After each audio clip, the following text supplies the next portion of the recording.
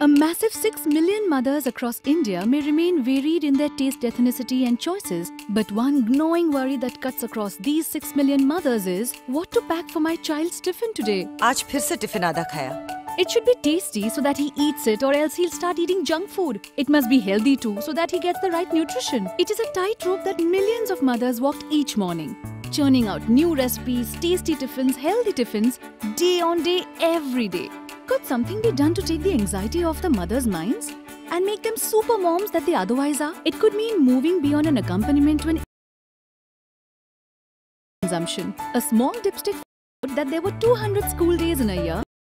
Was